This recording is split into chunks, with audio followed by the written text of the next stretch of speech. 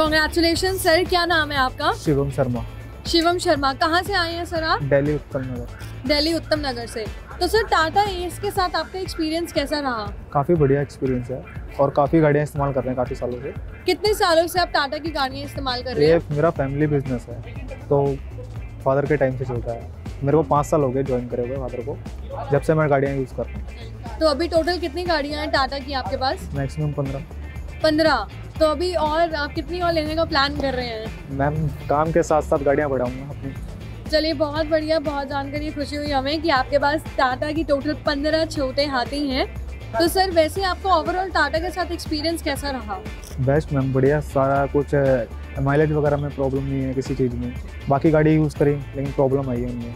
इसलिए मैंने टाटा की यूज़ करता हूँ सिर्फ़ चलिए sir thank you so much sir congratulation once again thank you ma'am